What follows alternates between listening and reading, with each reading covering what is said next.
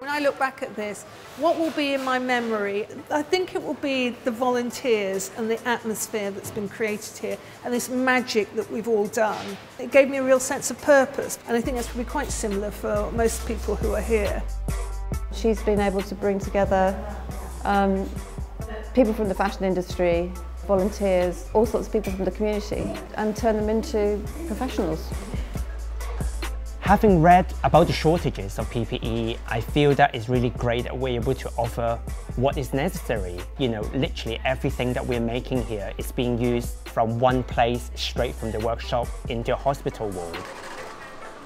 The drapes come in boxed up, we take them out. Using a pattern, we cut them out into arms and bodies. These then move down to two sewing rooms which we have on the middle floors. The process there is attaching the arms to the bodies and then moves to the next room where the side seams are done.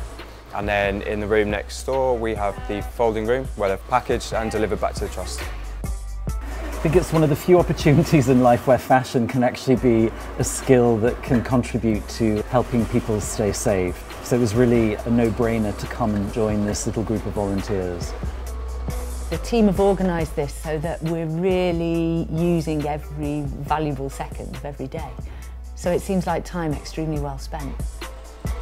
It's been amazing to see how people whose whose job this isn't normally to be able to produce really amazing things in times of need. You want to be part of the community and you want to be giving something back at such a difficult time for everyone.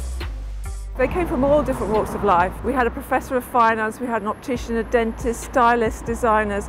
Lots of people had been furloughed. They were desperate to help. Many people were professional sewers, others weren't, but we needed all sorts of people. We needed cutters, we needed sewers, we needed packers, folders, and it was a great team effort. On the first day, when we were tasked with doing this, we couldn't imagine how many gowns we would complete. And after the 10-week period, we completed 30,410. This is a huge achievement.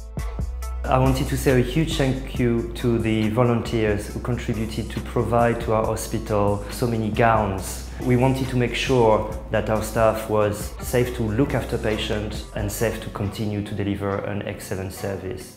It may seem like such a small, small thing, but for all of us, when we were right in the midst of it all, it made every difference in the world. So thank you very much.